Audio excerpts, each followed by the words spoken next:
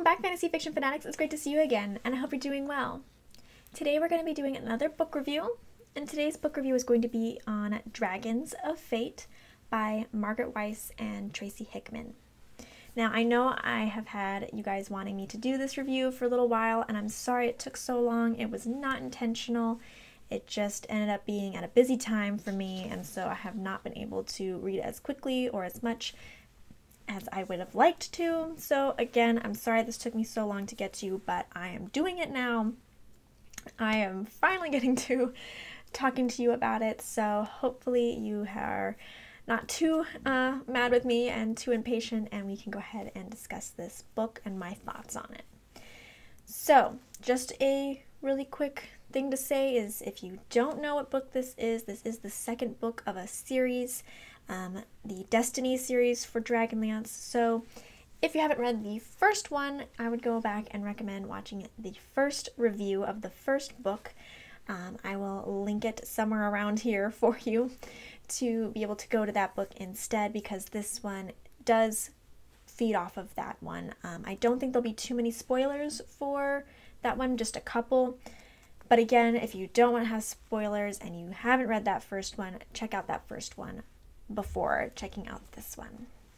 For those of you who have already read the first book and are ready to continue on uh, discussing the second one, let's go ahead and jump in. Um, if you like this review, please give me a thumbs up and a subscribe if you aren't subscribed already. We would love to have you as part of the Fantasy Fiction Fanatics community. All right, so this book is continuing directly from our first book. Uh, they are in the past. Destina uh, ended up taking um, Raistlin and uh, Sturm to the past with Tas as well, and the device broke, and now they're a little bit stuck back in the time of Huma. So now they have to figure out what they're going to do, not only in the past until they can go back to the future if they even can. Um, and they're hoping that the fact that they have the gray gem is not going to change and alter history to the point of no return. but they're uh, they're gonna have to see what they need to do from here. What did I like about this book? Um, I really liked the dichotomy between the past and you know what happened in the past, what they know about the past, and what they are wondering if they've changed. So I really like that fact that there's always this unknown of like, okay, this is what happened, but did it always happen this way? Are we changing history? What point do we changing history so much that you know it's broken and changing the future?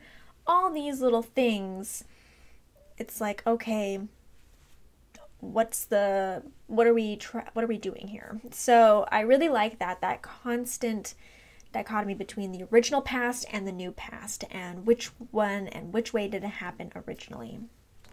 Um, of course, I love the writing style and the feel of the book. It feels, of course, like a Dragonlance book because the writers are excellent at writing and the top notch of that continues on. Um, it definitely is a great writing style. It's so clear, it's so crisp, it's so easy to read, it's fabulous, just as always.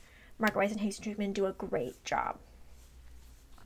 I also like the uh, mix of original characters and new characters. So we've got some that we know, some that are new and that we're learning about, and we're seeing them blended together to where there are now all characters that we know.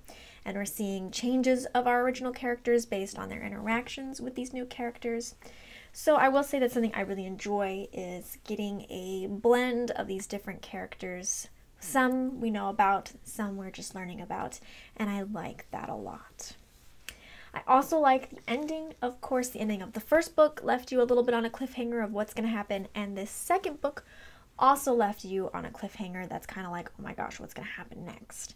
So I do like how the books are incentivizing you to come back to learn more because things are happening and you're not really sure how things are going to move forward past this point. So, definitely really like that. I always, even if it's frustrating because you're like, gosh darn it, I don't know what's going to happen next, and I got to wait a while for the next book. I do always like when it's like that anticipation is given to the reader. So, overall, lots of good things to like about it. However, what did I not like? And I have to say, unfortunately for this book, there are some things that I didn't care for as much. Um, the first thing actually relates to a lot of comments I got on that first book. So when I did the review originally, a lot of you guys didn't like Tas um, and his character. You felt like he seemed kind of idiotic and not himself. And though I didn't quite see it when I was reading it, I did understand everything that you guys were saying about the character. And sorry, guys, one sec. Um, anyway, sorry about that. Let's move on.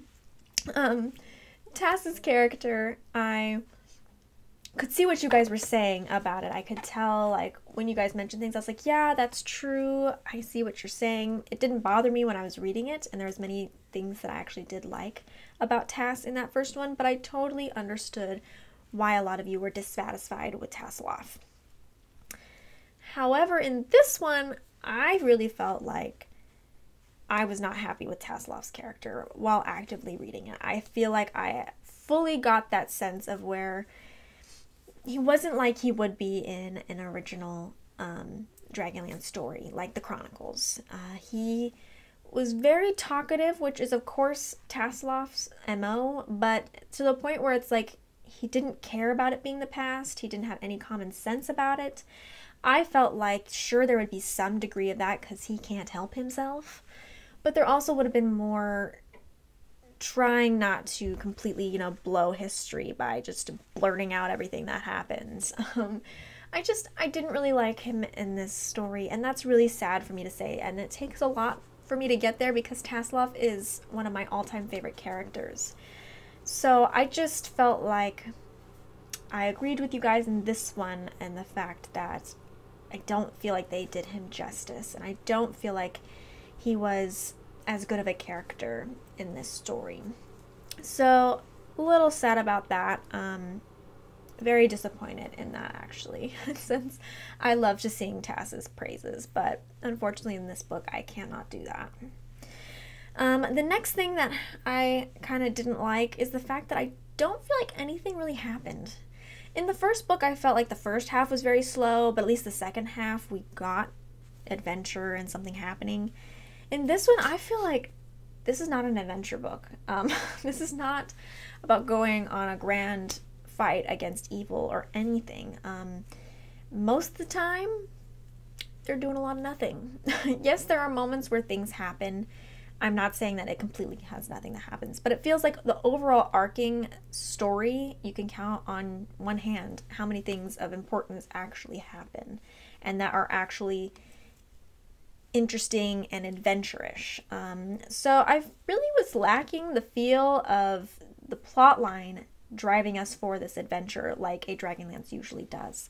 And I was very disappointed about that too. I it it felt a little bit more like a slice of life.